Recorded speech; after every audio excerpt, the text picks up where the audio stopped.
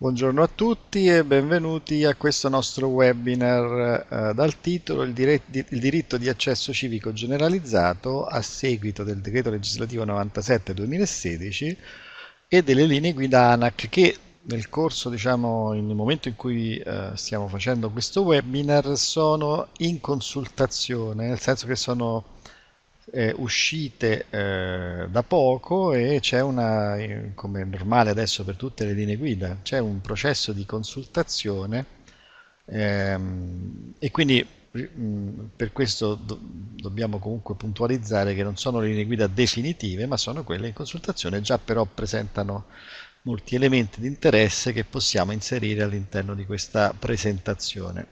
Diritto di accesso civico generalizzato appunto come dice il titolo, è, è eh, il nuovo eh, accesso civico ehm, che la, il decreto legislativo 97 del 2016 introduce anche in Italia, enfatizzandone la provenienza all'interno di un modello che nei, negli stati diciamo, più moderni, eh, con democrazie più evolute, eh, raffigurano un po' come quello che viene chiamato il freedom of information, cioè la libertà di accesso o nel suo acronimo spesso è più eh, noto eh, come FOIA, Freedom of Information Act, che sta anche a connotare uno specifico strumento normativo con cui viene eh, in qualche maniera codificato. Insomma. Noi lo abbiamo recepito secondo lo schema eh, che andremo a vedere molto, assai recentemente, quindi nel 2016, più o meno nel giugno 2016, poi c'era un periodo di,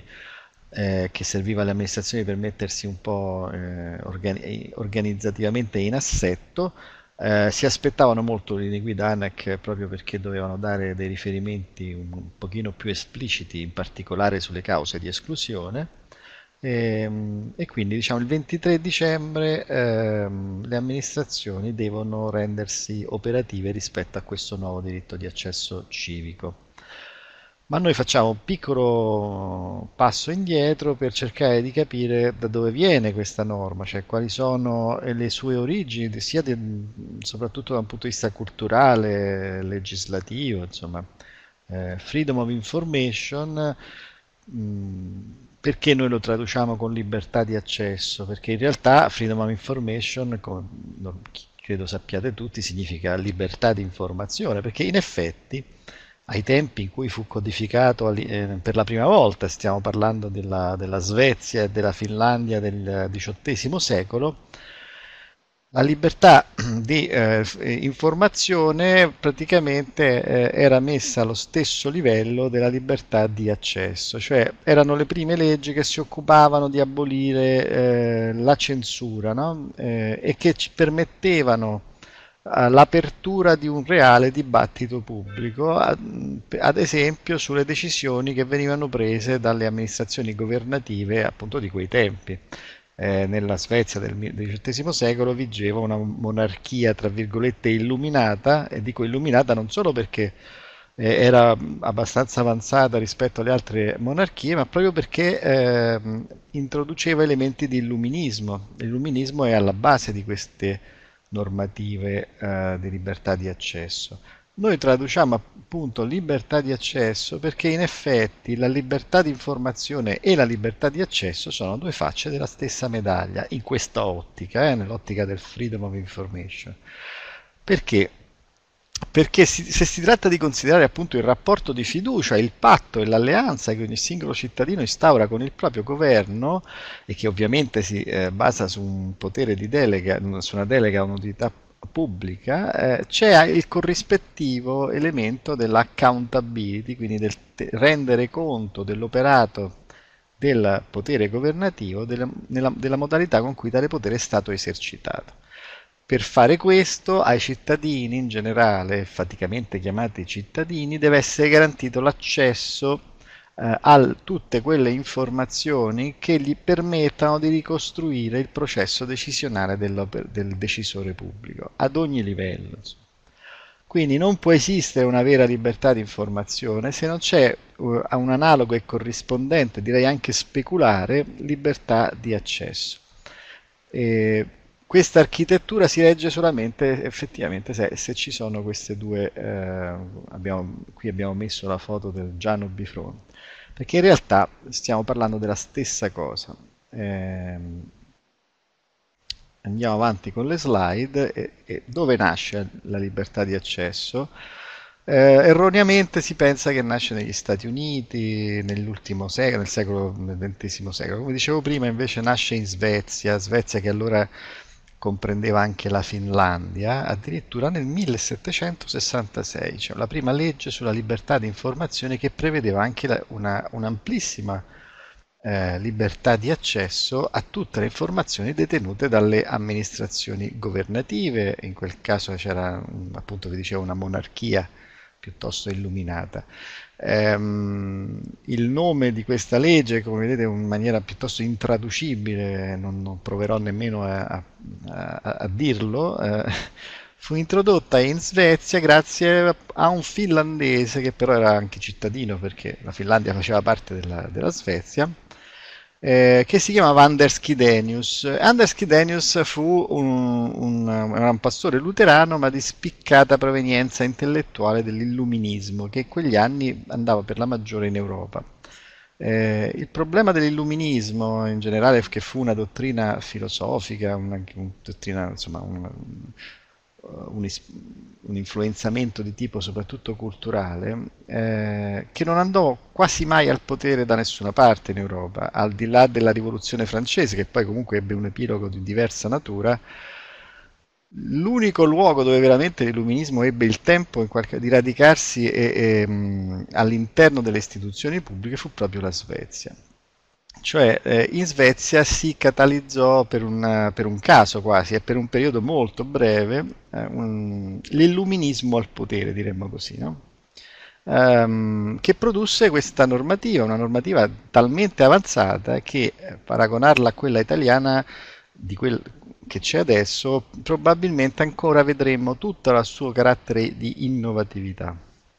Eh, da allora circa 90 paesi, adesso sicuramente un po' di più, hanno adottato leggi eh, sulla, uh, sulla, libertà di accesso, uh, addirittura una cinquantina di questi paesi garantiscono la libertà di accesso come principio costituzionale. C'è appunto da ricordare eh, che in Svezia la prima norma che, di cui abbiamo parlato ehm, prevedeva che la libertà di accesso fosse un principio garantito in Costituzione. Questo per evidenti ragioni, poi ne, ne parleremo più avanti nel corso uh, del webinar. Ehm, la libertà di accesso è riconosciuta anche come diritto umano internazionalmente garantito Um, e c'è addirittura un sistema eh, codificato di rating, cioè di misurazione eh, secondo degli standard internazionali che tra l'altro ha visto l'Italia salire di parecchie posizioni proprio nell'ultimo rating eh, dopo che era uscita appunto la la nuova normativa. Ehm, c'è da dire peraltro che, norm- che questi rating misurano soprattutto il fatto che esista una legge. Poi se questa legge funzioni o abbia un'efficacia, nel senso che renda più trasparente l'operato um, del, del, dell'operatore pubblico e quindi dell'amministrazione pubblica, questo eh, non lo misurano quindi com'è possibile nel 1766, parliamo di dieci anni prima della rivoluzione americana, dove anche lì l'illuminismo in qualche maniera eh, ebbe sua, uh, un suo ruolo, addirittura uh, ancora prima della rivoluzione francese, no? Non ha fatto molto parlare di questo perché si tratta effettivamente di una rivoluzione silenziosa, nel senso che uh, se voi leggete i documenti anche attuali della che ricostruiscono in, in Svezia questo, questo fenomeno, questa, questa, innovazione normativa così importante, vi accorgete che gli svedesi attribuiscono a questa normativa, cioè la libertà di accesso introdotta come principio costituzionale nel 1766, il fatto che poi i paesi scandinavi si trovino sempre eh, al top di tutte le classifiche eh, internazionali per l'integrità propri, eh, della propria amministrazione pubblica. E non è un caso, insomma, perché 250 anni di applicazione di una normativa molto seria, evidentemente, molto, fatta anche molto bene, poi dà questo tipo di risultati. Eh, di derivazione ehm, illuminista perché? Perché alle basi c'era questa idea di Jean-Jacques Rousseau, no? i funzionari pubblici dovrebbero operare sotto gli occhi dei cittadini. L'azione pubblica dovrebbe essere condotta con un alto livello di franchezza, apertura con candore, cioè chi rappresenta eh, l'azione di governo a tutti i livelli, eh, dal più piccolo funzionario, dal, più, dal funzionario pubblico diciamo, che ha eh, un, un relativo potere da esercitare fino al primo ministro e a tutti quanti i legislatori, ehm, dovrebbero appunto operare in maniera completamente visibile agli occhi dei cittadini. Quindi il loro eh, processo decisionale, il processo decisionale dell'operatore pubblico e del decisore pubblico dovrebbe essere sempre visibile. Noi troviamo un'applicazione concreta di questo principio anche prima del Freedom of Information Act in Italia ed è contenuto per esempio all'articolo 9 del codice di comportamento della PA che uscito nel 2013, quindi nemmeno tanto tempo fa. Questo articolo che si chiama appunto trasparenza e tracciabilità al secondo comma riporta proprio questo eh, principio di natura illuminista. La tracciabilità dei processi decisionali adottati dai dipendenti deve essere in tutti i casi garantita attraverso un adeguato supporto documentale che consenta in ogni momento la replicabilità. Ecco, la tracciabilità del processo decisionale è proprio questa, eh, attua diciamo, questo principio illuminista, sempre visibile il processo decisionale. Um, poi possiamo distinguere se è sempre visibile in tempo reale o se è sempre visibile a posteriori, cioè una volta che il processo decisionale sia, si sia manifestato, per esempio in un atto, Qui diciamo le, la letteratura internazionale si, si divide, insomma, perché la trasparenza del processo decisionale in tempo reale è evidentemente ele un elemento molto difficile da, da, supportare, anche molto costoso. Allora, per esempio, questo articolo del codice di comportamento ci parla uh, di un supporto documentale, cioè laddove si scaricano le mie decisioni, eh, io posso accedere appunto a, a, ai documenti all'interno dei quali si scaricano queste decisioni. Quindi noi in qualche modo aderiamo alla linea di pensiero di una trasparenza del processo cosiddetta a posteriori, cioè che viene subito, che, che l'apertura di quegli atti e di quei documenti che contengono appunto processo, elementi del processo decisionale dell'operatore pubblico. Questo è un altro principio sempre di Jean-Jacques Rousseau, eh, i funzionari pubblici dovrebbero operare sotto gli occhi dei cittadini, una società trasparente in cui nessuna condotta privata può essere tenuta al coperto dello sguardo dei cittadini, è un meccanismo cruciale per evitare intrighi destabilizzanti. Qui eh, siamo addirittura eh, agli estremi, insomma, insomma, una società completamente trasparente che poi evidentemente però ha anche i suoi rischi, come spesso viene appunto sottolineato eh, da chi invece propende per eh, un rafforzamento della privacy. C'è da notare però che nessuno nella normativa svedese fa mai riferimento alla trasparenza, alla privacy dei cittadini, che è, che è, una, che è assolutamente sacrosanta evidentemente. Eh, piuttosto, eh, in qualche maniera, le leggi sul, sulla libertà di accesso almeno in Svezia, precludono quella che è la privacy del decisore pubblico. Cioè nel momento in cui uno assume una carica pubblica, in qualche modo la privacy viene un po' meno, insomma, viene fatta una scelta piuttosto drastica per cui eh, l'operatore pubblico nel momento in cui assume eh, la delega per eh, decidere in conto e eh, per conto della collettività non può operare se non sotto gli occhi dei cittadini. Questo è importante perché a volte si banalizza e si pensa che queste norme minano la privacy dei, del, del cittadino comune, non c'entra nulla.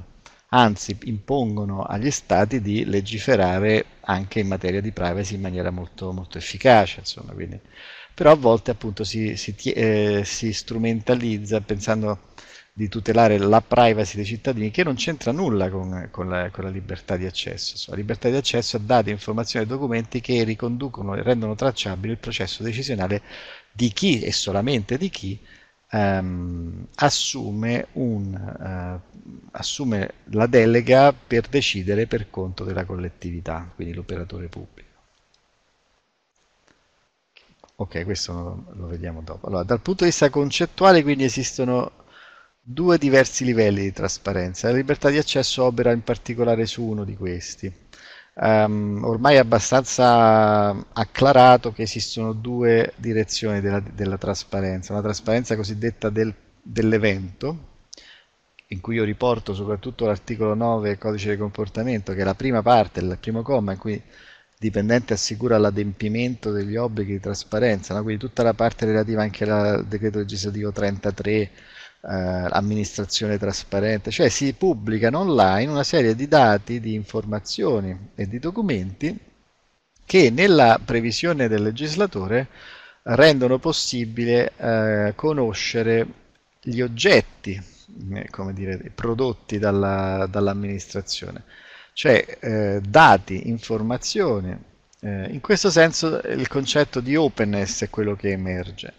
Poi c'è tutto un altro livello della trasparenza di come l'operatore pubblico prende e assume le decisioni e si chiama trasparenza del processo. In questo secondo caso eh, emerge proprio appunto la libertà di accesso come la tracciabilità dei processi decisionali. Quindi avremo anche una trasparenza come, come dire, eh, proattiva no? che viene associata all'openness, cioè una trasparenza che in qualche maniera eh, obbliga le amministrazioni a pubblicare online, quindi senza aspettare che qualcuno ti chieda informazioni, e poi una trasparenza cosiddetta reattiva che impone all'amministrazione non di pubblicare ma di archiviare eh, dati, informazioni e documenti nell'ottica della tracciabilità dei processi decisionali. Questo deve essere abbastanza chiaro perché altrimenti si confondono i due livelli, che sono completamente diversi ovviamente, eh, perché nel, ehm, per esempio nella um, nel, nell'evoluzione poi eh, di quello che è successo per esempio nei paesi scandinavi, siccome si è data molta enfasi alla trasparenza del processo, più che alla trasparenza dell'evento ovviamente, che, che, è assolutamente più recente come, come, elemento, nella trasparenza del processo in realtà l'operatore pubblico non è tanto bravo a pubblicare un dato, non è, non è che si specializza nella pubblicazione di un dato, in realtà si specializza nella nell'archiviazione di un dato documento non informazione. Infatti la Svezia è diventata un enorme archivio pubblico, un archivio di Stato. Ogni amministrazione eh, quasi quasi ha un, un, palazzo dove amministra e un altro palazzo dove tiene l'archivio. Adesso con l'archiviazione elettronica chiaramente è molto diverso. Ma voi dovete pensare che, um, che qualsiasi informazione uh, entri, diciamo, all'interno del processo decisionale dell'operatore pubblico può essere eh, fornita poi a, chi, a chiunque ne faccia richiesta. Insomma. Quindi eh, noi potremmo avere, uh, se noi ragioniamo in termini di openness and disclosure, cioè di trasparenza dell'evento e di trasparenza del processo, una opacità sostanziale quando nessun dato è disponibile e non si può uh, ricostruire nessun tipo di processo decisionale perché è oscurato, diciamo. E potremmo avere un massimo livello di trasparenza quando è applicato, diciamo, il modello FOIA eh, tipicamente scandinavo, cioè quando insieme a una trasparenza proattiva, quindi a dei documenti che devono essere pubblicati obbligatoriamente eh, dall'amministrazione, c'è anche la libertà di accesso di chiunque a, a, ad altri documenti, a, da, i cosiddetti dati ulteriori si direbbe, no?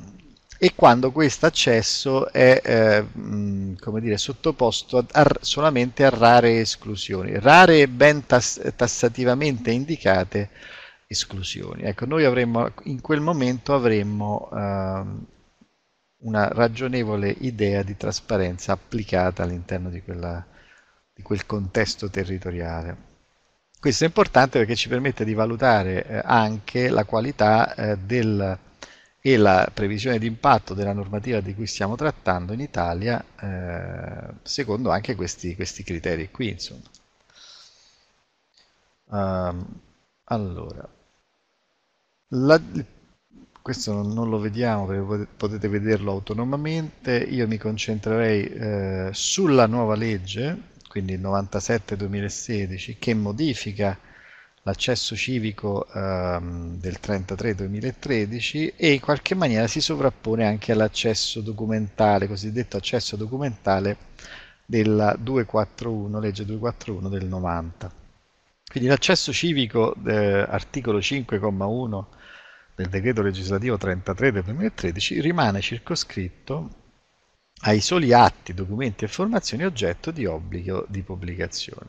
E questo è abbastanza pacifico, insomma, non ha mai dato problemi questa, questa parte. Insomma, costituisce un rimedio alla mancata osservanza degli obblighi di pubblicazione imposti dalla legge. Quindi un cittadino, sempre enfatizzando eh, il cittadino che poi non, difficilmente è il cittadino, comunque eh, non trova nel, sul sito amministrazione trasparente un determinato dato che si dovrebbe aspettare di trovare perché è un elemento di, degli obblighi di pubblicazione, può fare accesso civico eh, chiedendo all'amministrazione di farsi eh, dare di, di quel documento e attraverso anche la pubblicazione come forma di rimedio no? mm, per una mancata osservanza degli obblighi di pubblicazione. Questa norma rimane così com'è, questo accesso civico uh, rimane così com'è. Mm, chiaramente noi non abbiamo moltissimi dati, per esempio, su, di valutazione, di, se, abbia, se, abbia, funzionato o no questo accesso civico eh, sugli obblighi di pubblicazione. Non ne sappiamo molto di come sono andati questi ormai tre anni di applicazione di questa materia. Certamente sarebbe stato molto ingenuo pensare che bastava avere uno strumento di questo tipo per, per, per pensare che le persone lo, lo, lo, usassero, lo utilizzassero su larga scala. In realtà poi qui c'è un problema anche di, di, informazione, insomma, quante persone sanno che possono utilizzare quello strumento e soprattutto a chi interessa. Ehm, queste erano tutte valutazioni che secondo me è il, è il momento anche di fare.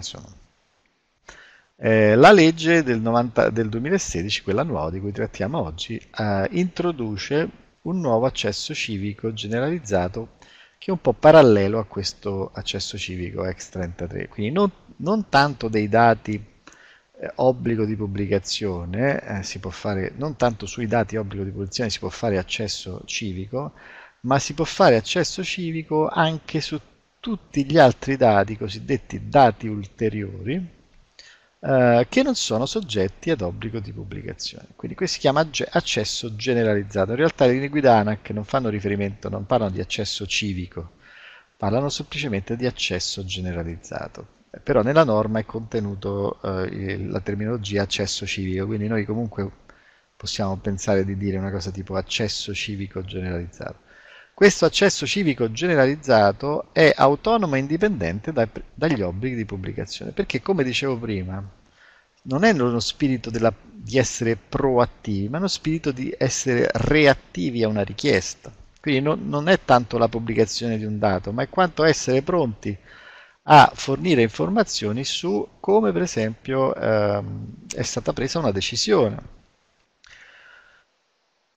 Quindi eh, il diritto di accesso civico, l'accesso generalizzato è espressione, come dice anche la linea guida ANAC, di una libertà che incontra quali unici limiti il rispetto della tutela degli interessi pubblici o privati indicati dall'articolo 5 bis che poi vedremo e il rispetto delle norme che prevedono specifiche esclusioni. Questo pezzo riprende diciamo, proprio le, le esclusioni della 241.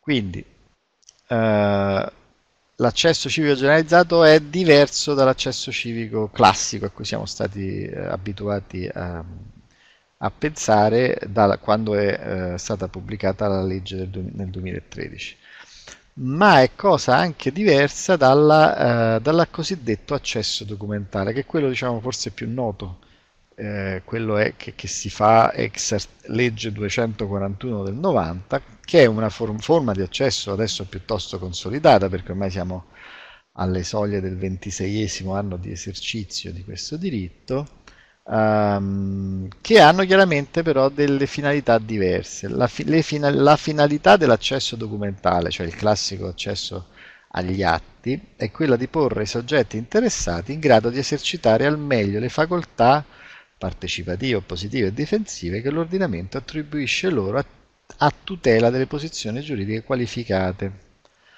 Quindi eh, l'accesso agli atti deve essere un accesso qualificato e motivato. Non tutti possono accedere agli atti, ma solamente chi dimostra di avere un interesse diretto.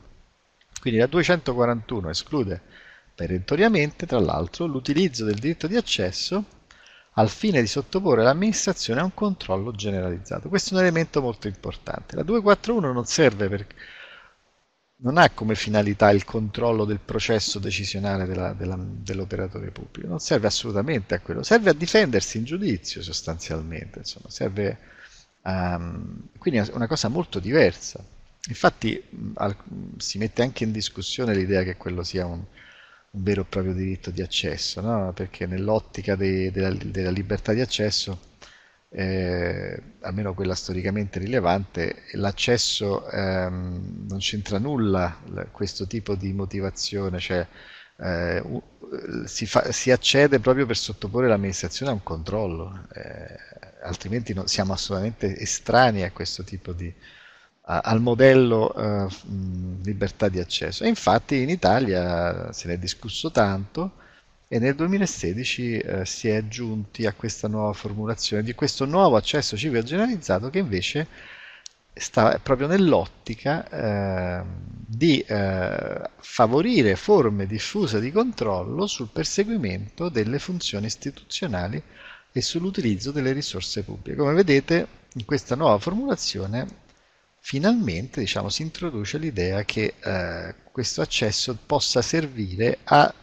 Ehm, a controllare l'operato degli amministratori pubblici proprio nello schema nel, dei principi dell'illuminismo che vi ho precedentemente eh, illustrato. Perché l'accesso generalizzato è invece uno strumento di tutela dei diritti dei cittadini e di promozione della partecipazione degli interessati all'attività amministrativa, cioè questo accesso serve a farsi un'opinione, diciamo così, no? Ecco perché questo, questo accesso è anche, eh, come dire, propedeutico alla libertà di informazione.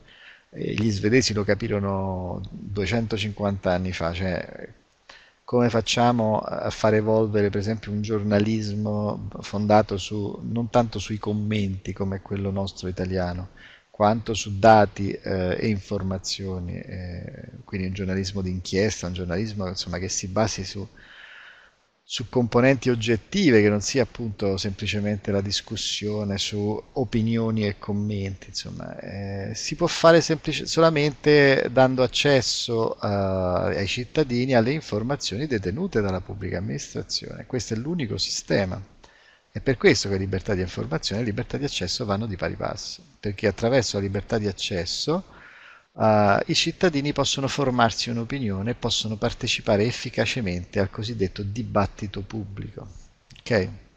Quindi, come vedete, situazioni molto diverse. L'accesso civico generalizzato è diverso dall'accesso civico 33-2013 ed è chiaramente molto diverso dal, dall'accesso agli atti ex legge 241-90. Il problema è che questo nuovo accesso civico generalizzato è stato come, dire, come modello procedurale è stato abbastanza eh, come dire, eh, inquadrato come procedure, diciamo, no? pensate per esempio all'elemento dei controinteressati, cioè si è, si, è, si è, utilizzata una struttura ben nota che è quella del, del, della 241 del 90 anche per questo nuovo accesso civico generalizzato, cioè si sovrappongono quasi in maniera speculare eh, le modalità di accesso, pur rimanendo due forme di accesso molto diverse che hanno scopi completamente uh, diversi, insomma, cont addirittura contrastanti insomma, in alcuni casi.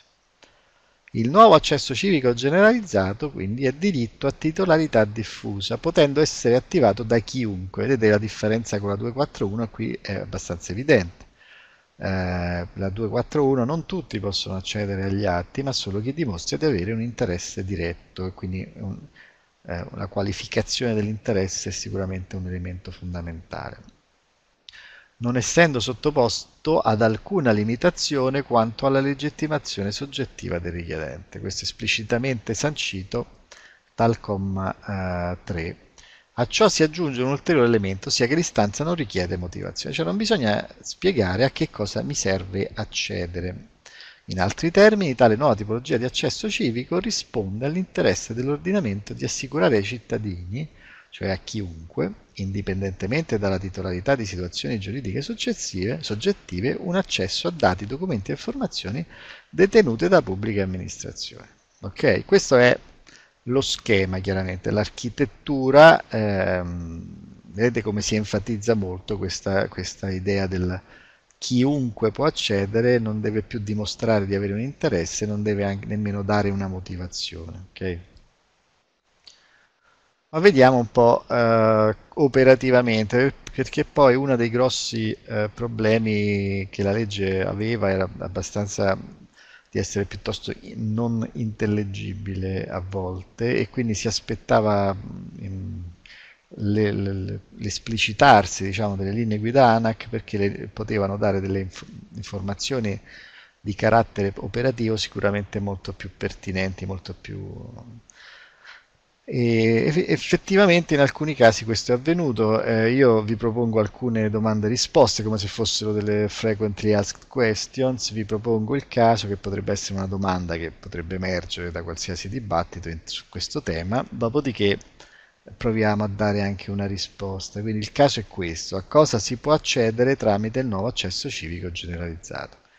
Eh, è importante questo perché, eh, come dicevo prima, la normativa si sovrappone a, alla 241 del 90. Le, le, le linee guida ANAC definiscono come l'accesso civico generalizzato è esercitabile relativamente ai dati e ai documenti detenuti dalle pubbliche amministrazioni ulteriori rispetto a quelli oggetto di pubblicazione. Quindi l'abbiamo detto più volte durante il corso di questo webinar, stiamo parlando dei famosi dati ulteriori, no? ossia per i quali non sussista uno specifico obbligo di pubblicazione. Um, il primo riferimento quindi non è solamente ai documenti amministrativi, ma anche, ma anche ai dati, che, che, chiaramente sono una cosa molto diversa dai documenti amministrativi. Che cos'è un dato? Il dato è eh, un dato conoscitivo, no? indipendentemente, come tale, indipendentemente dal supporto fisico su cui è incorporato e a prescindere dai vincoli derivanti dalle sue modalità di organizzazione e conservazione. Adesso sui dati c'è tutta una letteratura piuttosto consolidata, quindi ehm, si può fare riferimento a quello, c'è il CAD che, che, su cui si può sicuramente fare riferimento e qui sottolineo solo un elemento che appunto nella, nella, nuova normativa si parla di dati e documenti, quindi non solo di documenti ma anche di, eh, di oggetti, no? di dati grezzi. Eh, seconda domanda, sarebbe opportuno sotto l'aspetto pratico trasmettere copia della richiesta di accesso civico e dei successivi provvedimenti adottati dall'ufficio competente al responsabile prevenzione, corruzione e trasparenza? Cioè, ehm, in l'accesso civico generalizzato può essere fatto anche al singolo ufficio detentore dei dati, no? Allora ci si chiede, sarebbe utile che lo sappia anche il responsabile della prevenzione della corruzione e della trasparenza, che è stato, uh, come, che ora si qualifica nella, nello stesso soggetto, diciamo. Eh, in questo senso non tanto linee guida, ma un ragionamento che abbiamo fatto insieme ad altri colleghi e che voi trovate anche su un blog spazio etico, eh, certamente sì, per una serie di motivi, perché sono sicuramente eh, il fatto che per esempio il responsabile della prevenzione della corruzione e della trasparenza è anche destinatario del, uh, del riesame, no? delle istanze di riesame, cioè se un ufficio uh, nega l'accesso, il cittadino può ricorrere al, al, responsabile della prevenzione della corruzione, tra le, varie, al, tra le varie figure a cui può ricorrere eh, e poi anche perché il responsabile della prevenzione e corruzione, essendo colui che or- coordina e organizza la strategia anticorruzione, eh, in qualche modo deve tenere sott'occhio anche il processo di accesso eh, agli atti, accesso documentale, quindi accesso civico, civico normale, civico generalizzato. E quindi, dovendo tenere sotto controllo quel processo, ha bisogno di sapere come vengono assunte quelle decisioni, se, viene, se vengono rispettate le, le, la normativa, rispettata la normativa e eventualmente riqualificare quel processo. No? Eh, quindi il responsabile della prevenzione della corruzione non solo deve essere informato, eh, ma de, della, del fatto che esiste un'istanza di accesso civico generalizzato, ma deve anche essere informato circa l'esito di questa istanza come si può fare?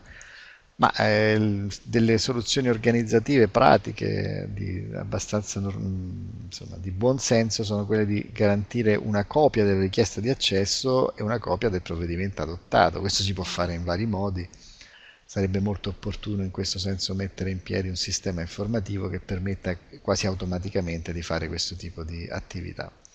Un'altra soluzione è la creazione di una banca dati delle richieste pervenute eh, e quindi una registrazione man mano che queste istanze vengono presentate anche eh, del loro esito. No? Eh, però diciamo noi ci siamo un po' spinti più in avanti, ecco, cioè, che cosa si può fare per questo? Anche perché l'ANAC nelle linee guida invita le amministrazioni ad adottare un nuovo regolamento rispetto all'accesso, no? che specifichi i tre livelli di accesso possibili.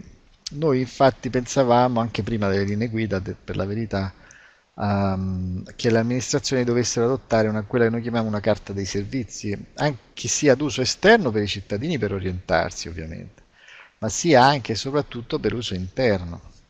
Cosa deve contenere questa carta dei servizi? Um, abbiamo selezionato circa 8 punti Intanto deve, ehm, deve eh, come dire, spiegare il più, il più, possibile, chiaramente, dove, eh, con i limiti insomma, di questa normativa, quali sono le informazioni, i dati e i documenti che l'ente ha a disposizione. Cioè dovrebbe fare l'ente, l'amministrazione, una attività ricognitiva che secondo me è quello che veramente può fare da subito dalla, dal, o ha già cominciato a fare per verificare quali sono i famosi dati ulteriori, cioè tutti i dati che non sono obbligo di pubblicazione ma che l'amministrazione detiene eh, attraverso questa attività ricognitiva può fare, può stilare un elenco di dati, informazioni e documenti eh, già immediatamente eh, accessibili no?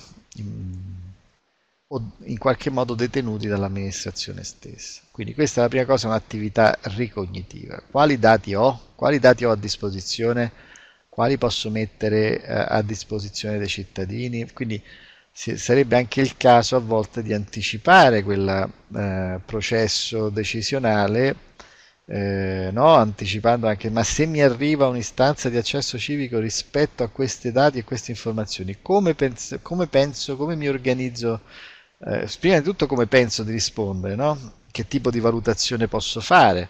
Eh, sono, sono, dati che sono soggetti diciamo, a, qualsi, ad, a cause di esclusione, poi vedremo quali sono. Quindi questa è la prima domanda. La seconda domanda che eh, ci dovremmo porre è quali sono le diverse modalità di accesso e a quali accessi si ha diritto? Avete visto adesso che ce ne sono almeno tre di accessi e, e questo eh, in qualche maniera complica la vita dell'ipotetico eh, cittadino che vuole eh, presentare un'istanza. Quindi in qualche modo eh, la carta dei servizi e poi ancora di più il modulo attraverso cui si farà accesso civico o a qualsiasi altro accesso dovrà contenere delle spiegazioni piuttosto particolareggiate e delle linee di orientamento attraverso cui i cittadini possano eh, effettivamente ehm, orientarsi all'interno di questa normativa. Quindi questo significa all'interno della carta dei servizi che l'amministrazione l'ente dovrà svolgere un'intensa attività diciamo, di traduzione della normativa. Eh, perché la normativa è piuttosto ingarbugliata. Insomma. Terzo elemento, chi sono i titolari della funzione di ricezione dell'istanza di accesso e a quali soggetti si può richiedere un determinato dato, documento o informazione.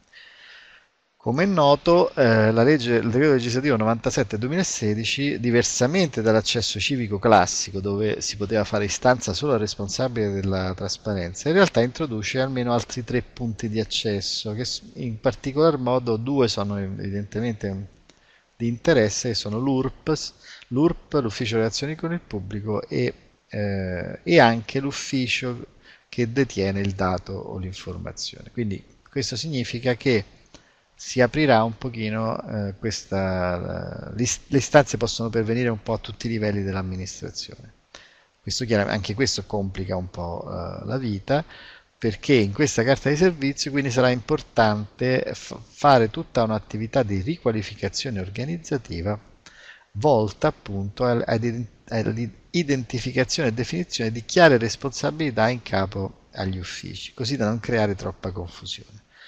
Uh, e, eh, e, anche a eh, orientare i cittadini a fare, formulare l'istanza eh, all'ufficio giusto, cioè all'ufficio detentore dei dati o addirittura all'URP. Questo chiaramente un'attività di riqualificazione, richiede un'attività di riqualificazione organizzativa evidentemente. Quarto elemento, quali sono i canali interni ed esterni per avviare un ricorso. Eh, quindi spiegare ai cittadini come e a chi si può ricorrere, se, eh, se la decisione di accedere oppure no eh, in qualche maniera ci, eh, ci, trova un po' in disaccordo.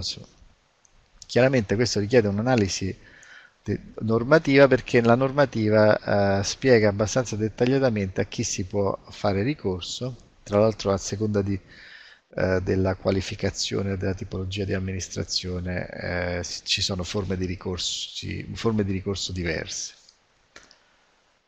Vediamo le altre quattro modalità eh, di orientamento che si possono fornire all'interno di una carta dei servizi.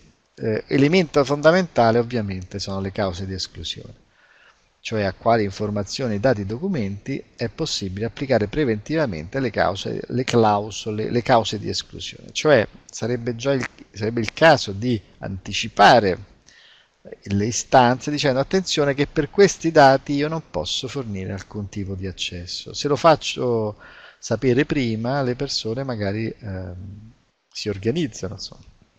Per esempio, se qualcuno ha eh, idea di fare un accesso civico generalizzato a, una, a un dato, a un, dato un documento che eh, si sa già che non potrà essere eh, come dire, eh, dato, fornito, eh, allora è abbastanza inutile fare la, quel tipo di accesso. Insomma.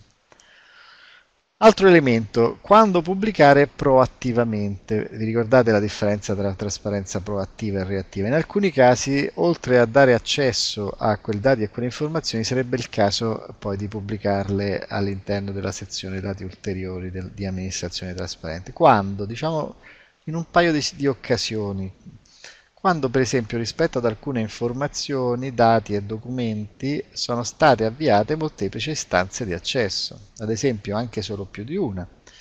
Eh, perché? Perché vuol dire che quel dato, quell'informazione, quel documento sono abbastanza importanti, cioè sono documenti e informazioni che le persone ci stanno chiedendo eh, in massa o comunque in, stanno, ci stanno chiedendo più volte. Quindi in quel caso forse conviene reagire in maniera proattiva e decidere di pubblicare all'interno della sezione eh, dati ulteriori di amministrazione trasparente. Questo è un caso. Poi c'è anche un altro caso in cui forse bisogna reagire in maniera proattiva. Si tratta di alcune informazioni, dati e documenti che eh, per la loro particolare rilevanza assumono in termini di potenziale vantaggio o svantaggio informativo, cioè chi ha accesso a quelle informazioni assume anche un vantaggio per esempio competitivo o di natura informativa. Eh, in quei casi va valutato che eh, bisogna mettere tutti sullo stesso livello e quindi garantire la massima equidistanza degli interessi, anche in quel caso forse sarebbe il caso di eh, pubblicare quel dato, quell'informazione su, eh, sulla sezione dati ulteriori. Ultimo elemento da inserire in una carta di servizi quale coordinamento interno è necessario al fine di unificare l'accesso? Eh, stiamo pensando di mettere in piedi uno sportello unico? Sarebbe forse l'opzione migliore. Eh, questo richiede un'attività di scambio di informazioni attraverso ovviamente specifici protocolli e dipende molto anche dalla complessità organizzativa di, quella, di quell'amministrazione, ovviamente, no? però è sicuramente auspicabile che che ci sia una forma di coordinamento interno operativo tra i vari uffici e in qualche maniera questo dovrebbe garantire una standardizzazione delle, eh, della, nella modalità di gestione delle istanze. Eh, perché uno eh, degli elementi più controversi di questa norma è proprio quella che introduce eh, una ampia discrezionalità in capo al singolo funzionario pubblico eh, di escludere o non escludere eh, l'accesso eh, perché le cause di esclusione come vedremo sono piuttosto vaghe e non è che la, l'ANAC abbia dato poi un così grande contributo di, per specificarle.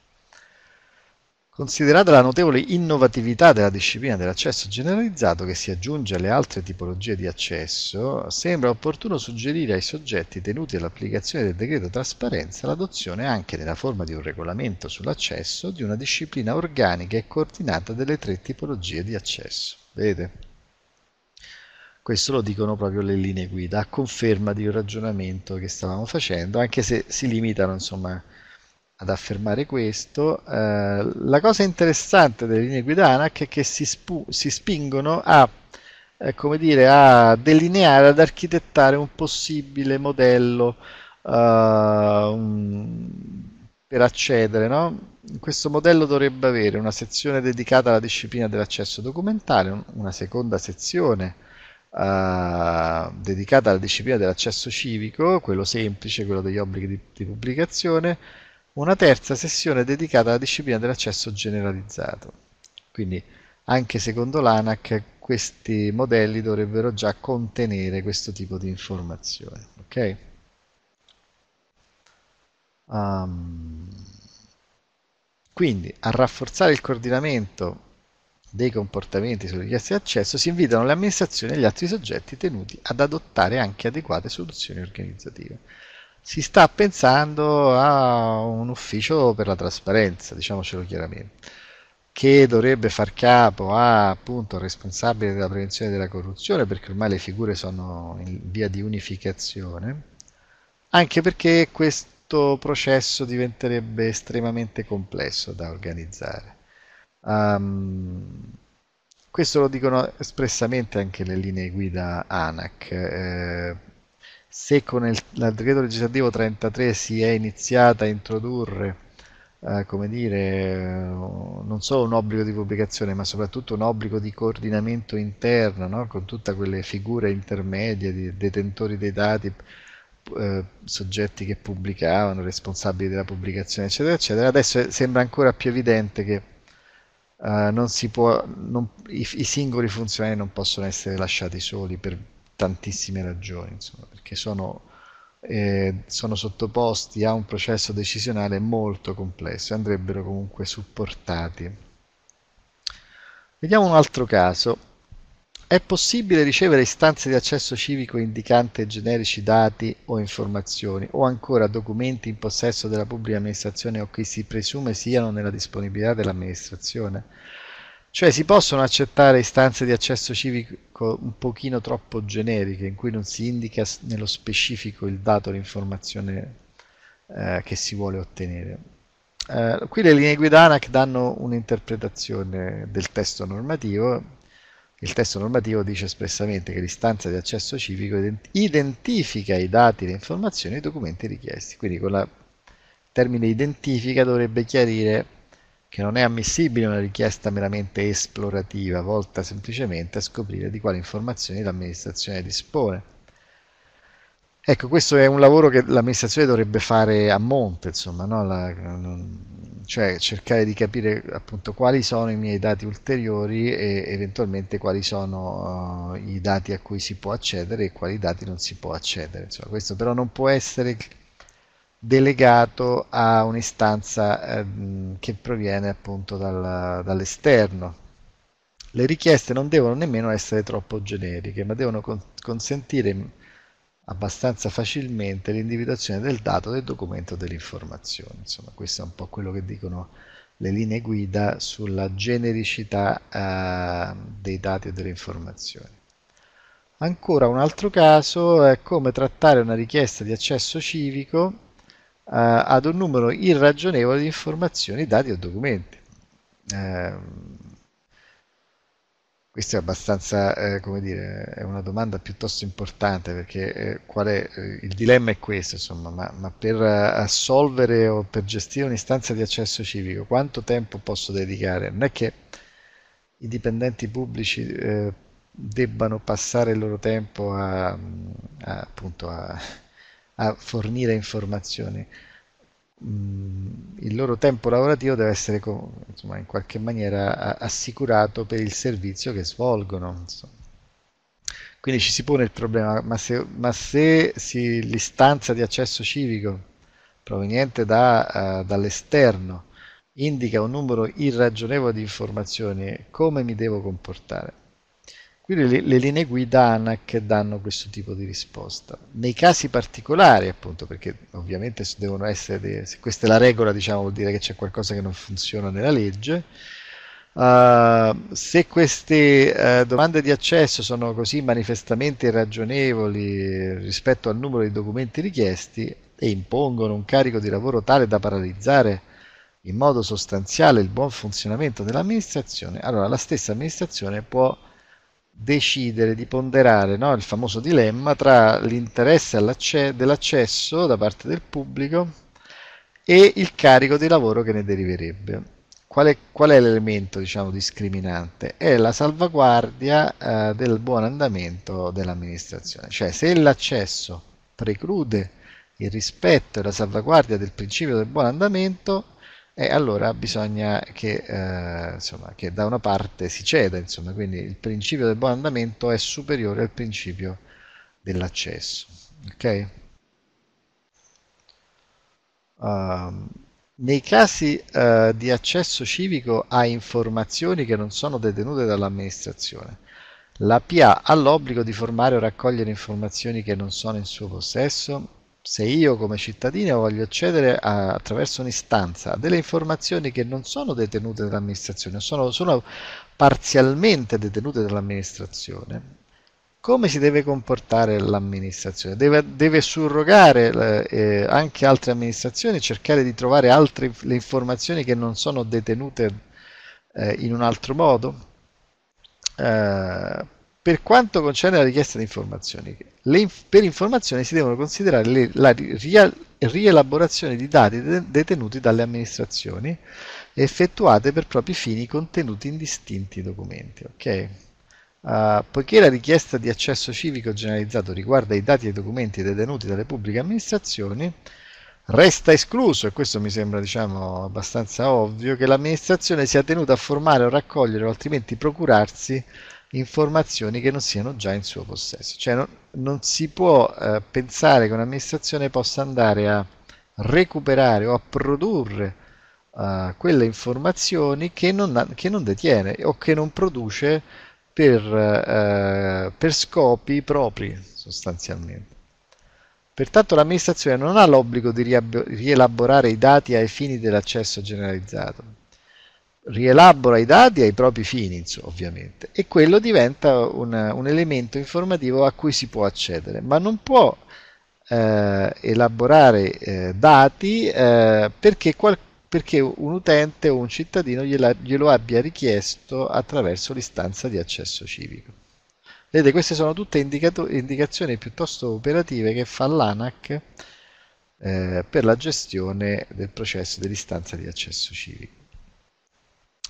Um, non dovendo più richiedere la motivazione e il titolo per cui un soggetto procede all'accesso, in che modo i controinteressati possono motivare le opposizioni e quali sono gli strumenti offerti alla pubblica amministrazione per eventualmente opporsi legittimamente all'accesso, cioè in quali casi è possibile rifiutare legittimamente l'accesso. Eh, ovviamente questa è, una domanda, è la domanda delle domande, diciamo in qualche maniera. L'accesso civico, a differenza dell'accesso agli atti, non viene mai negato per assenza di motivazione o titolo. Questo l'abbiamo già detto in vario modo. Eh, può essere negato solamente eh, per tutelare particolari interessi pubblici o privati. Quindi eh, l'accesso non può essere negato perché, eh, per, perché non, siamo, non abbiamo un interesse diretto, ma perché quella informazione che stiamo chiedendo può ledere interessi pubblici o privati. Questo è importante anche. Insomma.